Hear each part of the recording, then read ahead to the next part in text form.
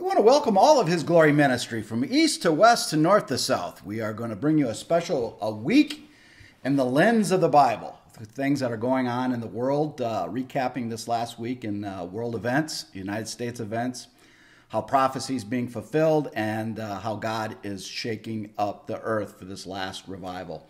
Uh, really, five different areas we're going to talk about today the continuing of the U.S. scandals how this is going to be uh, expanding even deeper.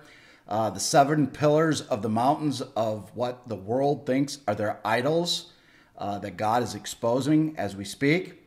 The nation of Israel, which is the center of all things, and God is putting, putting his protective hand on the nation of Israel. The United States and the blessings, that goes back to scripture. I will bless those who bless you and curse those who curse you. United States government has stepped forward and put the embassy, recognizing that Jerusalem is the eternal capital of the nation of Israel. And we're seeing blessing coming to the United States economy because of this. Uh, the Atlanta Fed just announced that uh, they believe that the economy could grow upwards of 4.7% in the second quarter which is absolutely smoking. We see African American unemployment is at an all time low. We see uh, Latino uh, employment at an all time low. And we see that the, uh, in, uh, the index of, of, prosperity is at a 17, uh, 17 year high. Many, many great things. The unemployment as a whole is at 3.8%. This has to do with God's blessing of the United States of America. And the last is the heartbreaking of today's church. The church is going through an exposure. And we'll go into depth of all of these five each categories to give you a week in the Bible, uh, a week in the lens of the Bible, why it's happening today. First, to the U.S. scandals that we've mentioned. Uh, for those following uh, His Glory Ministry, we, you uh, will well know that we were given a prophetic word back in March 1st of 2017 the Lord said it would be the biggest scandals, plural, in the United States government in the history. This was well before anybody came out with anything like we see the House of Cards falling today. Other words coming after that, he said it would 2018 would be the year of the boomerang. And if you follow the Sean Hannity show, he's taken on that mantra as the year of the boomerang. Well, the Lord told us that uh, uh, back in December of 2017 that 2018 would be the year of the boomerang. What the people thought were going to happen is going to come back on them. And so God has told us that it's the year of the boomerang. Also, the Lord said, this United States scandal of government corruption, spying, uh, doing things in the dark, that there will be a light shining on this. And he said it would expand. This goes back to about July or June. We had a prophetic word that the scandal would go further than the United States and it would be involving the world scandal, and that there would be government people at high up positions in other countries that would be affected. Just this week, we have now seen real life proof to show that at least seven other nations were involved in this uh, Russia and the spying and these illegal wiretapping of a political uh, campaign. Unfortunately, many people throughout the world are uh, in the United States are taking a uh, uh, a political view of this. Remember, here His glory. We're telling you what the Word of God says. We're telling you what, what the Lord Most High is telling us, and that is not about left or right. It's not about political party. This nation was founded under God. A principle of our Constitution in the United States of America is God first. The fundamentals of Judeo Christian values are what put our forefathers into country. And this political scandal is not only going to hit the Democrats, but it's also going to hit people in the Republican Party as well. He's exposing all dark. Just this week, I got another prophetic word that the birth pains are speeding up in the spiritual realm and God's light is going to start shining brighter and brighter on the darkness. And the exposure is going to be coming faster and faster and faster, like no other time in the history. Everything God has told us so far has come true. And it's the year of the boomerang. Watch for the boomerang. We're seeing that many high level officials now are turning against each other. And this uh, will be the biggest scandal, not only in United States history, but it's going to expand into world history. As we said, now there are seven countries that are impacted by this. that have political candidates that were a part of this scandal. Whether you want to call it an informant, whether you want to call it a spy, whatever you call it, it is uh, it, it is ugly, and it was done for po- political motives. And the light is going to shine on the dark, and those who thought they were going to get away with it, it's going to come back on them. Again, this is not just Democrat. These people are not calling themselves a Democrat or calling them a Republican because of ideology. They're doing it for power, greed, money. This is what it's all about. This is the spirit of Jezebel and God is exposing the spirit of Jezebel. So whether you're Republican or Democrat, you've done things in the dark, God is going to show the light and it's it being exposed. And as we said in our prophetic word this word this last week, it's going to get worse. It's going to get worse, but there is nowhere run to, where, where to hide. The birth pains are speeding up, and God is going to shine His light on the darkness. As we said before, the Lord is going to raise up a remnant of godly people throughout the government. We go to the seven pillars of the mountains of society. We're seeing that in the movie industry. We're seeing the vileness of comedians that are turning on uh, political parties and calling people just unbelievable racial names, racial slurs, calling people this un- incredibly horrible things. Whether you're left or right, the vileness has gotten out of control. We even see people who call themselves uh, pastors or bishops getting in the fray and calling people racial slurs. This is not of Christ. Christ is exposing in these times of darkness that the light is going to shine. These birth pains are speeding up and everything is going to get exposed faster and faster. And God's light is going to shine on these seven pillars. Remember, we said uh, the, the movie industry, the TV industry, Harvey Weinstein was just put in, uh, uh, was con- con- not convicted, but was uh, indicted this last week. Of all people, you never thought that would ever happen. We're seeing the society of all pillars of the mountain that God, that people put as their own idols and gods. God is bringing down what has happened in the darkness, and this is going to continue to go. Remember, we said that the Lord is going to uh, expose, this was a prophetic word about six to eight months ago, that God is going to uh, expose insurance companies. And specifically, uh, health insurance companies and insurance companies that have done things in the dark with the United States government. That's the next thing that's going to hit. That's going to be a huge, huge cover up. And it's going to expose things that they have done with the government in dark to hide horrible things. Watch for this to, to happen. We see a little bit of it starting to happen in California a couple months ago, as we per, uh, had a prophecy a few uh, a few months ago, and w- we also said watch for the pedophile ring in in uh, in Hollywood and TV. And also, it will have ties to the U.S. government. And God told us this eight months ago. And we're seeing the first fruits of that to start to happen. There's some, some TV stars that have been indicted for pedophile ring.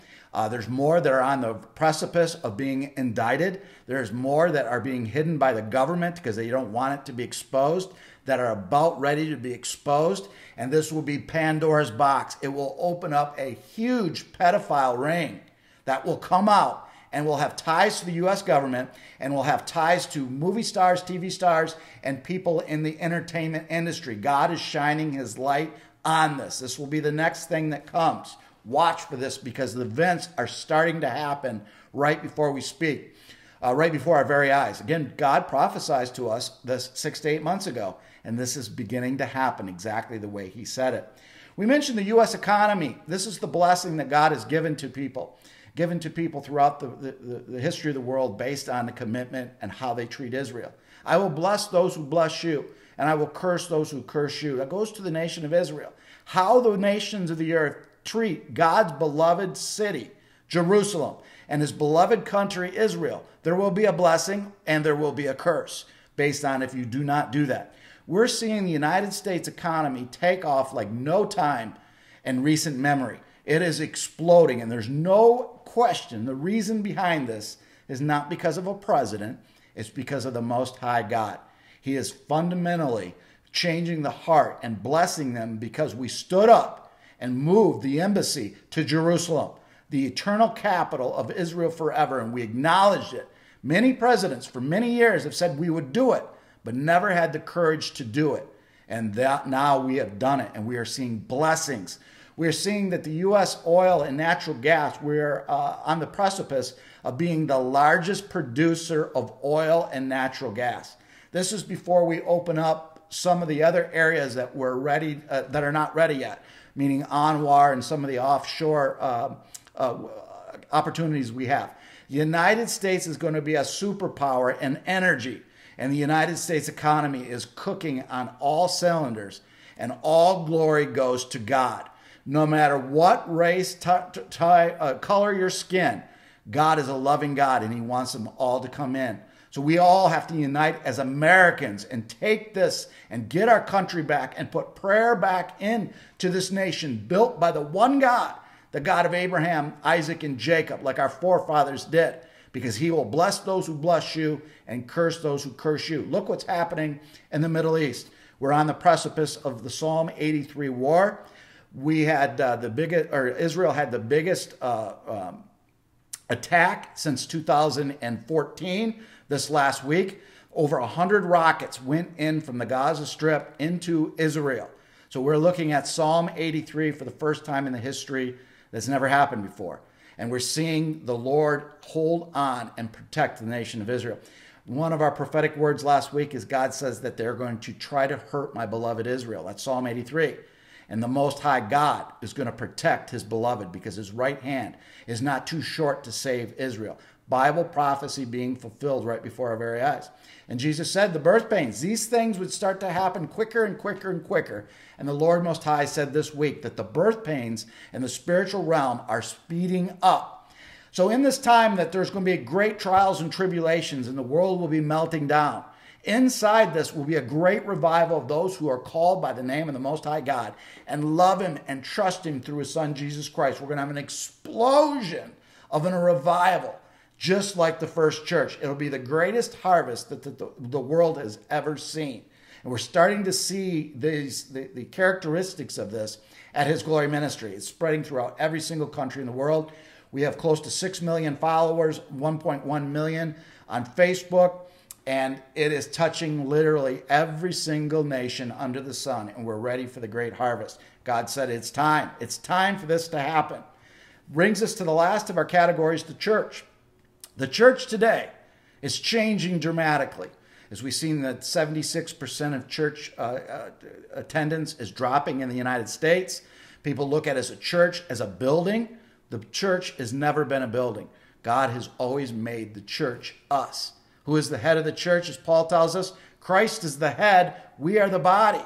The Holy of Holies of the church, built after the tabernacle of the Most High God, is our heart and we are the church and we are to move out. Remember in the in Pentecost, when Paul and the disciples and they start spreading the gospel of Jesus Christ from east to west to north to south, exactly the way Christ said, spread thy gospel.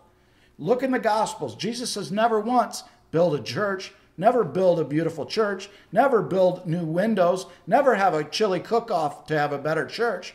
We are the church and we need to become mobile. We need to be spreading the love of Jesus Christ and get this last harvest. It's not about church programs. It's about how many people in these latter days do we plant the seed of knowing Jesus Christ as their Lord and Savior. God doesn't want buildings. He wants hearts. He wants souls that love Him with all their heart, their soul, and their mind. Never once did Jesus say, Go build me a beautiful church. No, he said, You are the church, and I am the center. I am the head. Go out and preach the gospel to every creature, to east, to west, to north, to south. That is the commission that the Christ, the Lord Most High, called us to do. Remember the days of the Apostle Paul when they built the church and they spread the church.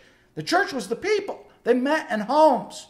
And we're starting to see the United States of America and China and Iran and some of the other areas which were persecuted.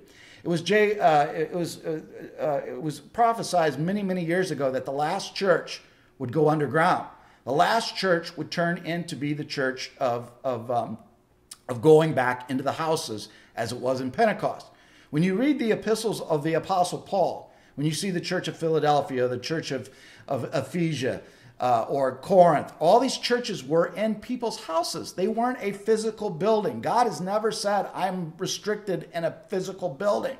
Remember the woman on the uh, woman at the well came to Jesus and said, "You Jews worship in the temple. We Samaritans worship up on this hill." And Jesus said, "Certainly there will be a time where you'll worship no, in neither place. You'll worship in the heart because the church is mobile. The church is everywhere. Wherever we go, we're bringing the church with us because God has always made the church us. We are united in one ecclesia, one church. And it breaks my heart that there's so many churches that have their functions in the wrong, the, the wrong priorities.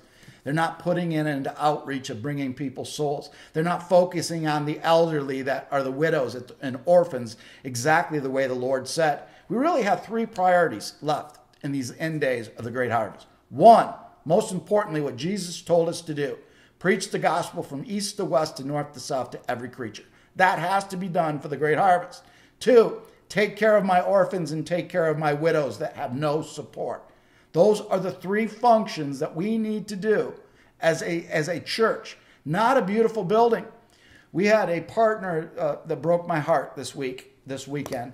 We're so wrapped up in the jealousy of what someone, one church, uh, one church pastor got a car, and then they wanted a car. It's not about having a car. It's not about having things. It's about having the love of Jesus Christ. The church needs to wake up. The church needs to go back to its roots, and as, as it said in our seven letters to the seven churches, and remember the first love. The first love is Jesus Christ, and we are the church. Don't worry about pretty buildings. Don't worry about what your church has and cars and all these things and kitchens and basketball courts and all this. We're called to do one thing. As Jesus said, preach the gospel. We need to have the church wake up and outreach to all the people around the world.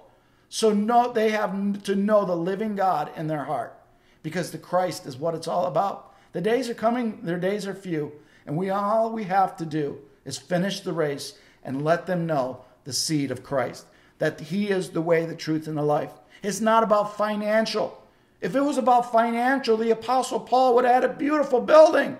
He never did. Paul lived in a tent. He made tents. He didn't know where his next meal was going to be, but he trusted in the Most High God. And miracles and signs and wonders followed Paul everywhere he went. The same with the Apostle Peter. Same with all the disciples who listened to Jesus Christ as he went up and created his church, the ecclesia, and the Holy Spirit came down. They weren't working about buildings. They were going out because they are the church. They were the church, and we are the church, and the church of Christ. He is the head, and we are the body, is going mobile, and we are to go out and preach that good hope, the good word, the truth, the way, the truth, and the life through eternal life comes through the shepherd's door and the Lord Jesus Christ. And we're praying for every church that we that every pastor that is leading the sheep are leading the sheep the right way reevaluate what are we doing? Why are we opening our doors? What is our purpose? Our purpose needs to be built on the living word.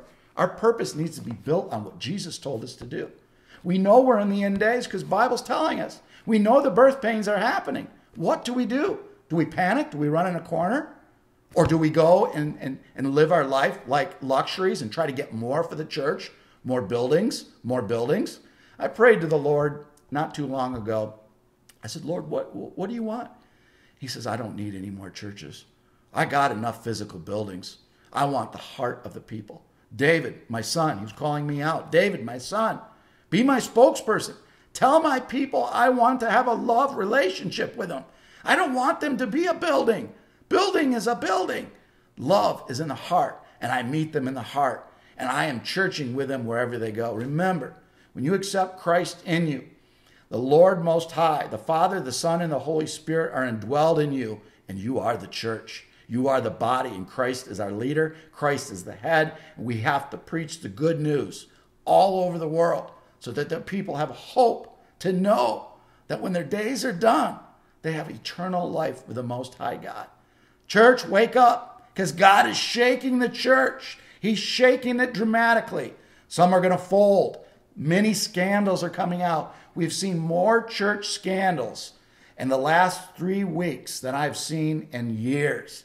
Because the Lord, that was another prophecy. He says, I'm shaking my church and I'm going to expose the light on the darkness. I'm going to expose the light on the greed. I'm going to expose the light on the sexual perversion that are going in what they call my church, which they call in their building.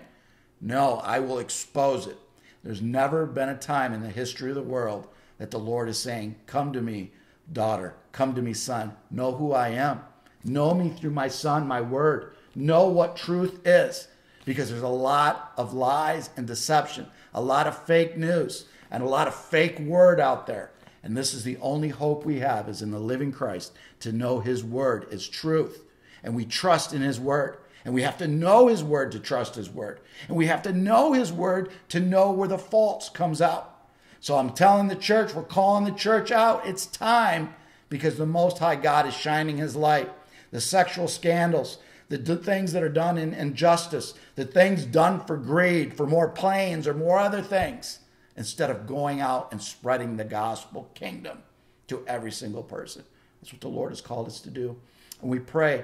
We pray for the church, that the church wakes up, the true church, which is one church. It's called the ecclesia in Greek. In the Greek, it's one church. It's always been one church.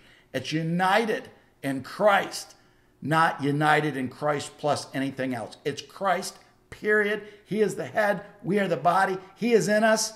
He's with us, the Father, the Son, and the Holy Spirit. And he who is in you is stronger than he is in the world. So we have to we have to make sure we have our priorities straight in these latter days because everything the Lord has told us, every prophecy is starting to be fulfilled right before our very eyes. And as Jesus told us in Matthew 24, the birth pains are speeding up. And that's exactly what the Lord said this last week. The birth pains are speeding up, and I am going to shake, shake the nations. I'm going to shake, shake the church. I am going to shake, shake the U.S. government. I'm going to shake, shake all the pillars that people call their own gods. And I'm going to show the world who I am through signs and wonders. But these signs and wonders, you can be fooled if you don't have your heart on the Lord. You have to know His Word. And it's time for the one church to stand up and preach the true gospel of Jesus Christ to the world. And we have to go after every single soul, desperately aching to have every single soul to come in to know the living Christ and we're united no matter what your color is, whether you're black or white or Asian or whatever your color is. We're all created by the Most High God. And when we accept Jesus Christ as our Lord and Savior, no matter our skin, our blood is all red and it's sin nature and He's washed it away. And we become brothers and sisters of the Most High God. Let's get rid of the racial divide. Let's get the things that are tearing our nation and tearing our world apart. They're not of Christ. Christ is love. We need to put love first and start planting the seeds because we love our brothers and sisters. And we want every single person to know who the living Christ is because we want them to be hear the words, Well done, my faithful servant, and come into eternal life. Time is short. We pray, we pray, we pray, we pray that the church wakes up and the true church steps up. And the true church is the one that Jesus called the elect. Not elect because they were special, elect because of the heart. God elected them. God elected those who know his word. And that's what the Church of Philadelphia is. You never denied my name. You never denied the name of Christ. You never denied my word. You have to know his word so you can't deny it. People need to pick up their Bible. And you followed and you did everything obedient. And the church, the true church, has been persecuted. The true church has been persecuted but the Lord Most High is going to shake and shake and shake, and the light of Christ is going to come up. And this remnant that is, is the elect is going to shine the light all over the world, and the world is going to know the living God is responding because these people will glow, and supernatural things that are biblical, that are of the Bible, are going to happen around around them and through them because Christ is the center Christ is the head, and He wants you to meet you at the Holy of Holies of the heart today. We pray that this week in, through a Bible lens is a blessing to you. And uh, the church needs to wake up. The church needs to get back to the basics. And the basics are very simple preach the gospel, because that's what Jesus told us to do. Plant a seed to every single soul. Time is running, time is, time is short. And look at the news every day, the world is shaking. So we have three choices to make continue as the church like we're going to worship in a building like a country club and not do what the Lord wants us to do, change the word of God to, to, to placate whatever we feel at this particular time, you're not a threat to Satan. Satan doesn't care. Satan wants you to do that. Or you just deny it, go through the world, and live for the world. Or the third and the only, you stand up on the word of God and you stand up on his truth and everything he says to tells us to do and to honor him through the precepts and commandments. Jesus says, You love me, accept me into your heart, and follow me. And it also says, If you love me, you will obey me. People forget that. They forget that Jesus says love is obedience. You can't love Jesus Christ and love his word if you don't read his word. You can't love Jesus Christ and love his word if you don't follow his word and if you're not obedient to his word. He's looking for truth in these end days. He's looking for those who are going to step up to be the church of Philadelphia. Are you? Are you? Have you been saved? And if you've been saved, what are you going to do with it? Are you going to preach the gospel? Are you going to plant the seed? Or are you going to go in a building and just continue the ways and let Satan deceive, distract, delay? Satan doesn't care as long as you're distracted, delayed, or deceived. But the church will not be, the true church will not be distracted, deceived, or delayed.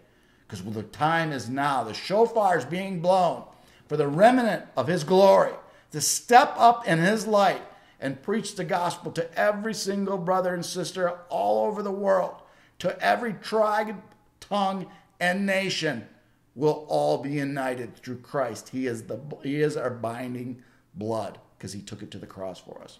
We pray for each and every one of you and we pray that the Lord Jesus Christ touches you in your heart today and you know the living Christ and he is with you always. And that now that you accepted Jesus Christ as the Lord of your life, that you're obedient to him and you go out and be obedient to what he says to do. Plant the seed. Plant the seed of why God, through Jesus Christ, changed your life.